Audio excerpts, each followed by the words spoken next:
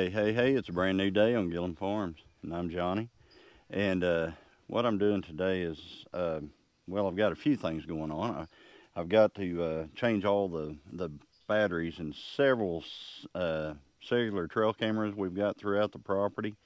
Um, and I've got to get down to where the cattle are, and I've got, I think that they may need a move, I'm not sure and I'm going to go down there and check on the pasture situation down there and and uh, see how they are doing.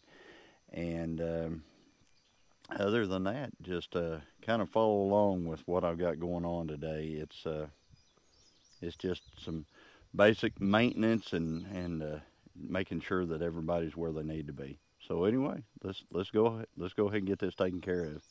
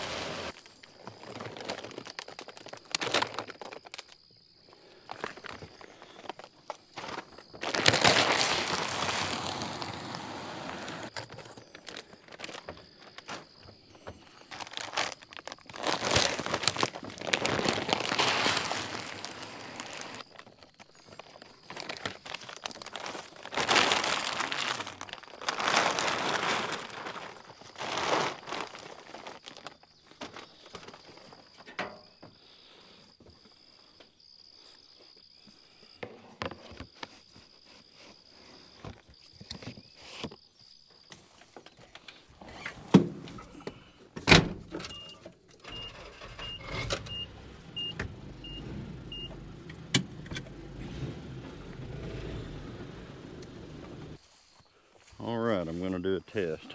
Make sure this thing is spinning correctly.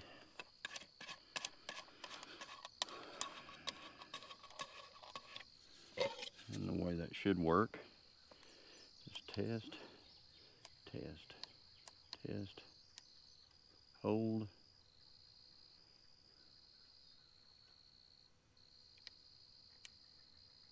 There we go.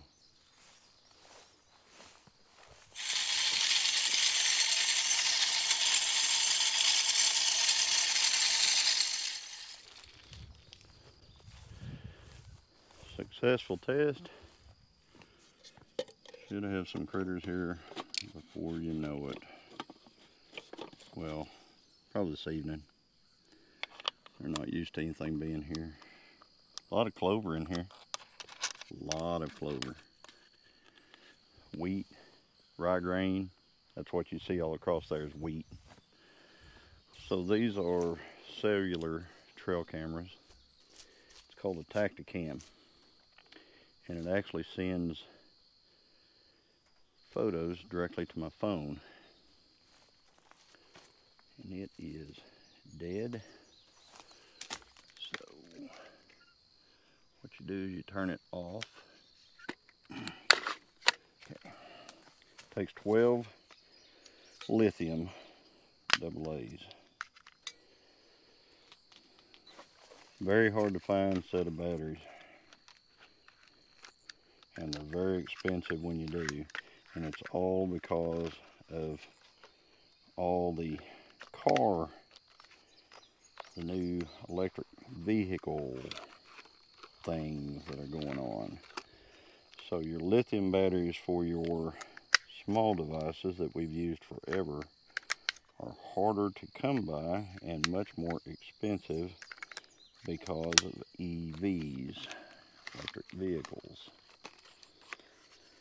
so usually what happens is I'm able to find just a few of these online. And I can probably get eight in every month or so. Because we are not very smart apparently. We have to get all of our batteries from, or our, we get our lithium from China.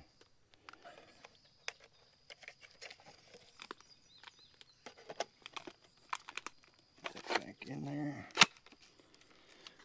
Right, the way it works now is you turn it on to setup mode. So it's on setup mode. You'll see several lights start coming back on. You'll see these lights start doing their little sequence. And once they go solid, that means it's picked up a good signal off that antenna and it will be set to go. So then you can simply flip it to the on position. So. All right that's the signal it's got. It's not great but it works as long as it's got signal all right so it's on. That one is set. Make sure there's no not a whole lot of obstruction between the camera and what we're trying to get photos of. Things to blow around create false triggers a lot of weed in here Notice all the clover, tons of clover. And uh, this is a this is an actual food plot, but I didn't actually. The only thing I planted was wheat. All the clover died out last year, and some of it is starting to return on its own. So there is some clover in areas of it, but mostly it's all along this side and I believe along the back side over there. So later on I'll come in here and I'll uh, actually uh, I'll do something called throw and mow. So once all this wheat and everything dies off, on its own.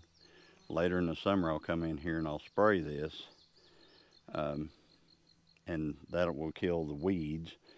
And then I will take a uh, broadcast spreader. You've seen it in my other video where I go around and pasture spray, uh, plant. I'll broadcast spread uh, probably clover and uh, rye grain, wheat, and uh, turnips and uh, radishes in here. And then I will brush hog all this stuff down over the top of it. And that will create a mat that will uh, you know protect the, that seed keep that seed moist and everything. And all that seed will start germinating and we will have a, a great plot again. So that's the plan this year anyway so let me move on and do some more camera work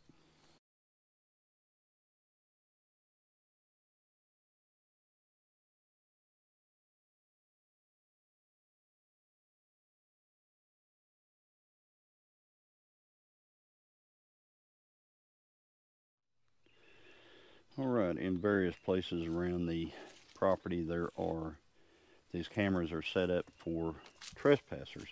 They're pretty inconspicuous. Um, and I have had a trespassing issue in the past. It's not common, but it has happened and it was costly when it happened. So when I mean costly, I mean they actually destroyed some things and stole a bunch of things here. And that's not cool.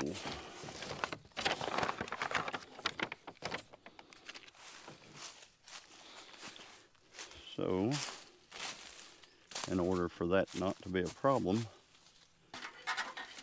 I make sure that I know right when someone comes onto the property. As soon as somebody comes onto the property, they're mine.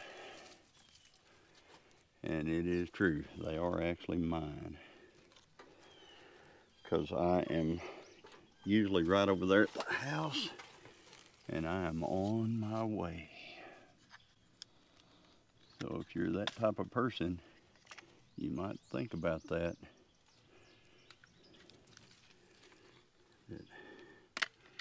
old Johnny, he he don't mess around.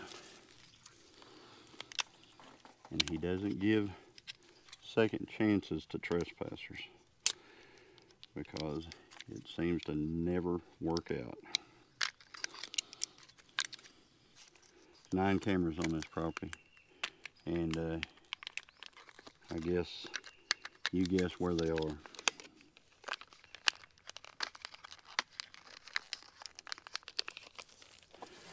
Luckily, or unluckily, technology has gotten to the point to where now we can we we have eyes everywhere. Be careful where you go to the bathroom in the woods, folks. this right here, this is a pond that I created up here on this property.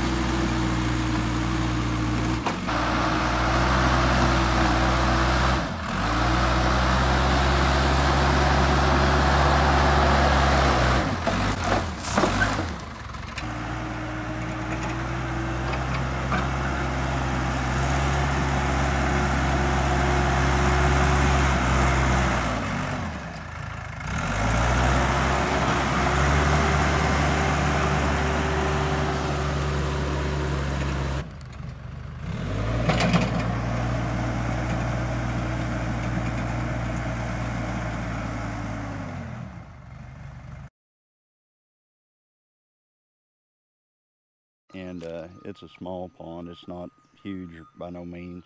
It's about oh, four feet deep or so, and uh, but this went completely dry last year, um, and was the reason why I was able to to dig it back out again. And that's what I did. I dug it back out. It was a lot smaller pond than this even.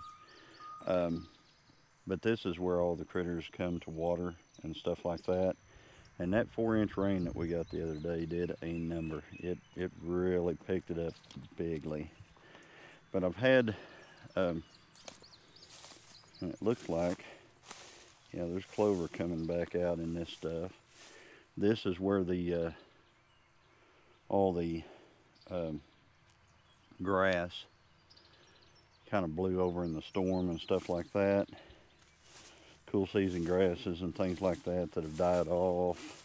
And there's a lot of clover popping up underneath it which is fantastic. You can see all the clover in here. So yeah that died down. Now the clover is coming back. And if I get real lucky I might not have to do a whole lot this year. Uh, but what I'm doing right here right now is I've got a camera here. This is one of the few cameras I've got that you know catches uh, critters and I'm going to move this camera. So let me flip this one off and I'm going to move this one to another spot. And then I'm going to show, start uh, showing you guys photos that I get from my cameras.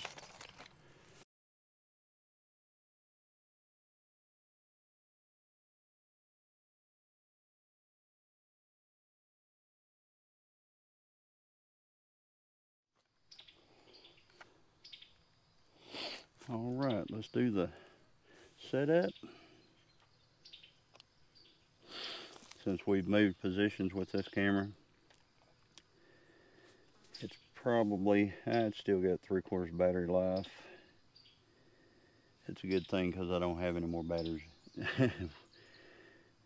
so, yeah, this is a camera I've always had just set up for critters. So let it get up. All right, it's figured out what it wants. Set up. Okay, I'm taking down this old trail camera that wasn't set. And right here is what we're on, which is a mineral lick. So let's see what kind of pictures we get.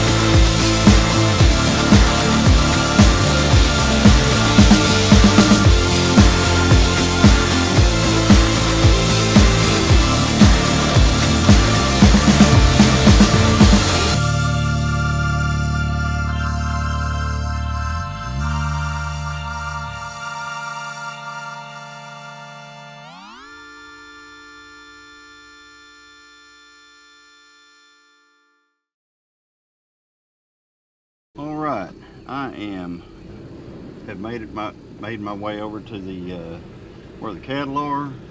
This is the Mean Girls paddock. This just kind of shows you what kind of grass we've got growing in here. It's not tall, but there is some grass if I have to move the cattle into this one. Um, these, I just wanted to make sure everybody's got something to eat. Oh, my tractor is sitting kind of funny. I hope it's not going to flat. But anyway, it hasn't, I haven't noticed any rain, but that doesn't mean it hasn't rained. So we will check that. As, as suspected, bone dry. it's been, oh, approximately a week uh, since it's rained at this point. So, been really hot too, and getting ready to get hotter. It's supposed to be upper 90s all next week, I believe. So, anyway, not a lot going on here. Not a lot of growth in this in this paddock. Pond is really low, right over there. All right, this is a sign that we don't have to to uh, change paddocks yet. The cattle are all laying right over here in the shade. They still have forage in here, so I'm going to leave them in this paddock. And that one up there, she, those are up there eating. And these down here, they're all just laying around in the shade, just kind of chilling out. There's some laying right over here. There's Danny right there. So Yep, they're just kind of resting right now, so that tells me I don't have to I don't have to change uh, paddocks with them. So I guess that's pretty much all I've got. I was just going to come over here check out the grass, which are still enough in here for them for the next, oh, probably through the weekend. And then I'll come back and move them early next week to the uh, to the Mean Girls paddock. So anyway, if you like this type of video, like and subscribe, and I'll continue to bring more content in the future as available. And as always, everybody, God bless.